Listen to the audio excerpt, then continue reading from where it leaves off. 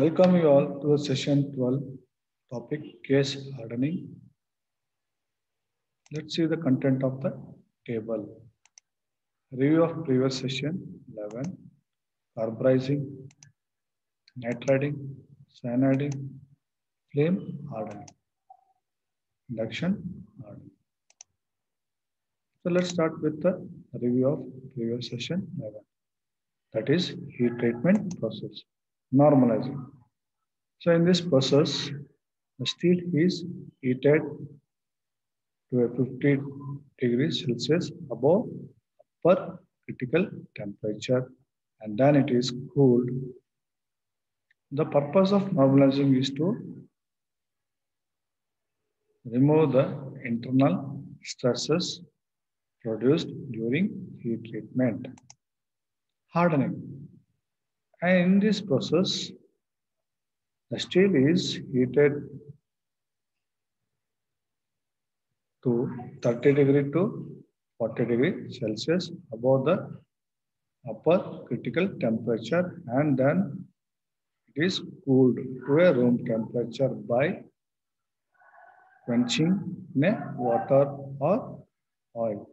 The purpose of hardening is to increase the hardness of steel resist to wear. Tempering. In this process, the steel is heated to a high temperature below melting point. It is cooled by air. Then it changes the mechanical properties such as ductility, hardness. Austempering.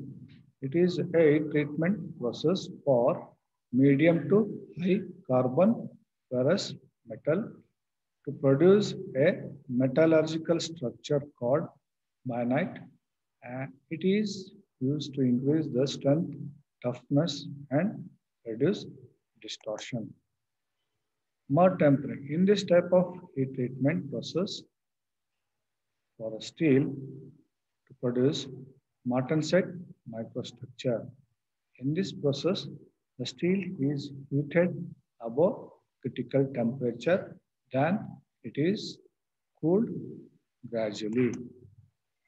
Now coming to this session, it is say surface hardening, case hardening.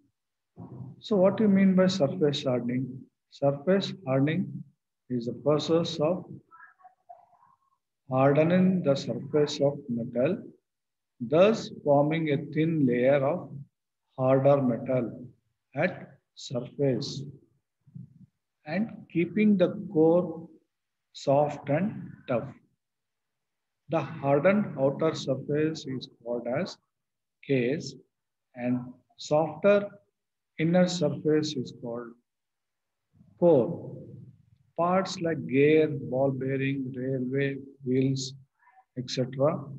are done by this process to make the surface hard and tough. So let's see the types of case hardening. Carburizing, nitriding, cyaniding, flame hardening, induction hardening.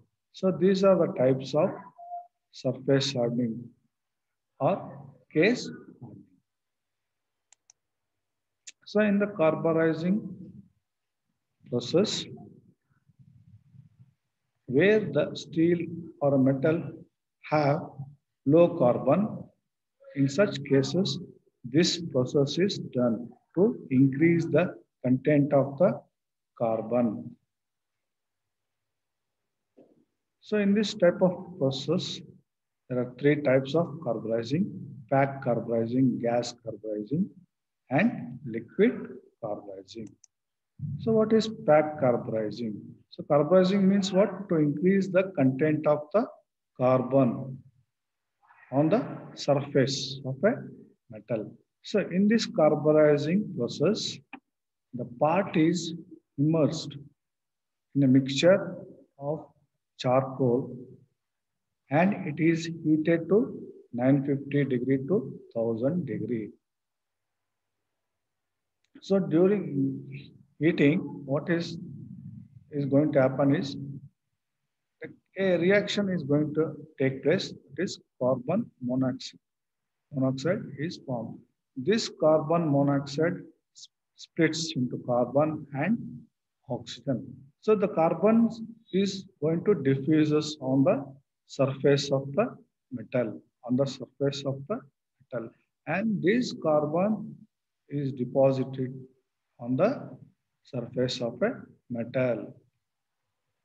So this is how the, the carbon's content is going to increases and it becomes harder. Okay. Next, we'll see the liquid carburizing. In this liquid carburizing, a component or a part is dipped in a mixture. So this mixture is contain sodium cyanide, sodium chloride, sodium bicarbonate. So in this mixture, the mixture is heated at 950 degree Celsius and it is cooled. And during heating, what is happening here? The carbon diffuses and it is collected on the surface of the surface of this part, forming a hard layer or a thin layer. Next carburizing type, gas carburizing. So in this gas carburizing, the work part is placed in a furnace, contains the mixture of methane, ethane, propane, butane, and some amount of air. It is heated at 930 degrees Celsius to 1030 degrees Celsius. And it is hold for 8 to 12 hours because to diffuse the carbon, to diffuse the carbon. Okay, so these are the types of carbon carburizing. Next, we'll move on to nitriding. Nitriding means what? It is a process increasing the nitrogen content of the surface for hard alloy nitrides at the surface of the steel. In this process, the part to be nitride is placed in the furnace. It is placed in the furnace and the methane gas or ammonia gas is passed inside the furnace and it is heated at temperature of 500 to 650. So this part is, this parts which is placed inside is of alloy steel, hard alloy steel. And in this nitriding process, when the gas enters into the furnace, there is going to take a reaction that is splitting of nitrogen and hydrogen. So the nitrogen atom is going to absorb on the parts. It is going, nitrogen is going to diffuse and it is going to absorb on the surface of the part. And this is how the part which is produced by nitriding is hard alloy nitride. Good. Next, we'll move on to the cyaniding. So in this process, in which the steel alloy is heated contact with a cyanide bath. Cyanide bath. So what is cyanide bath? It is a mixture of sodium cyanide 20 to 30 percent, sodium chloride 25 to 50 percent, sodium carbonate 25 to 50 percent. So this bath is placed in a container and the whichever the part to be cyanide is dipped inside the bath and it is heated to 800 to 850 degree and then it is quenched in water. So during this process, the carbon and nitrogen is diffused and it is absorbed by this part, absorbed by the part which is dipped inside the bath and the deposition of nitrogen and carbon is formed. So due to this, the metal becomes hard and tough. So we'll move on next. Flame hardening. In this type of hardening, the surface of the steel is heated by means of a torch, heating torch on the surface, having a temperature of 850 to 1000 degree. The flame temperature is about 20, 2400 to 2500 degrees Celsius. And after heating the surface, it immediately it is cooled by water or air blasting. So in this uh, figure, you are going to see the flame and quenching of water is done simultaneously. So this flame comes by the oxyacetylene flame. Okay. So when the workpiece or whatever the part to be made hardened, it is heated by means of flame. So the surface becomes harder. The surface becomes harder. So at what depth it is becomes harder is 2 to 4 mm. Next is induction hardening. In this type of hardening, the workpiece is heated to a temperature of 850 degree to 1000 degree. So this is heated by means of electrical, means by passing electrical to the heating coil. See in this figure you see it is a workpiece is placed in between the coil, electrical coil and electrical coil gets electricity from the AC supply. AC supply. So the part gets heated. So parts get heated. Then it is quenched immediately into the water. It is nothing but electromagnetic induction. Induction, electronic induction. It is. So induction hardening is a type of heat treatment in which the metal parts are heated by electromagnetic induction and then it is quenched.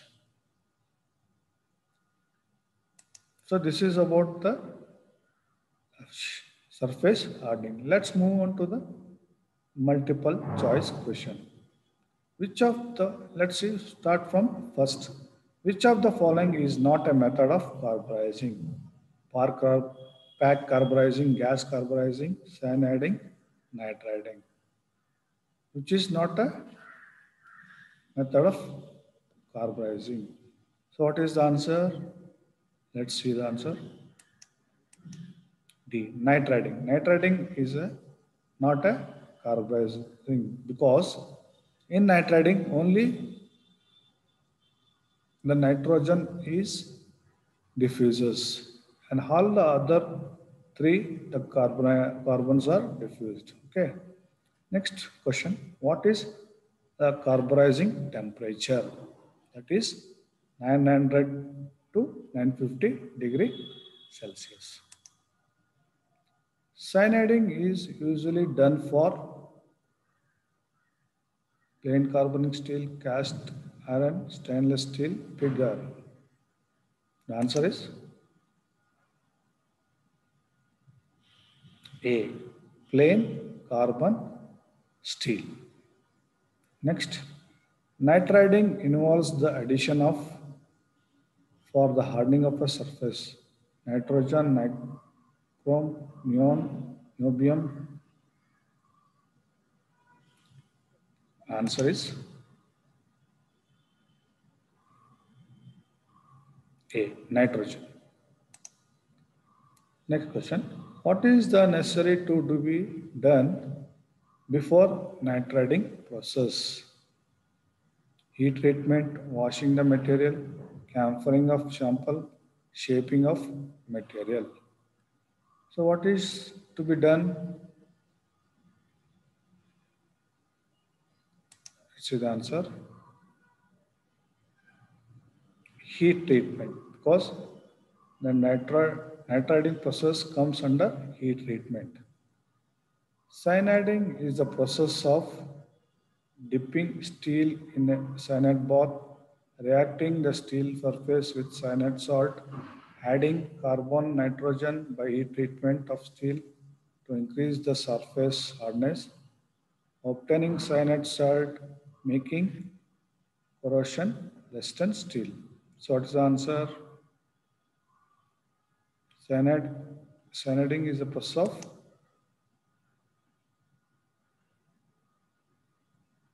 adding carbon and nitrogen by heat treatment. Next, we move to the next question. Induction hardening is a process of, the answer is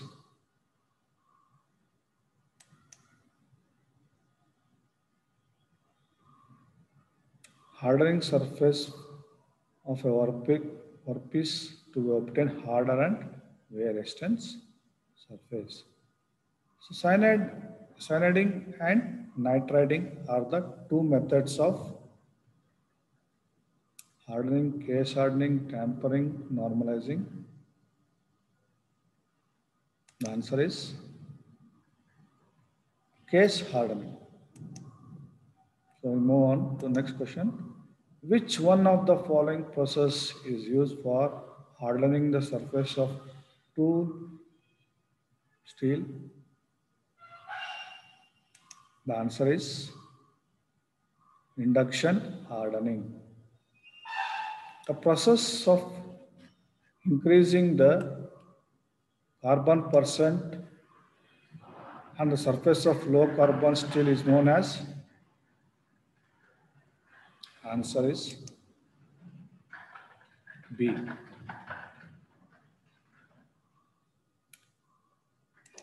Okay. Thank you all.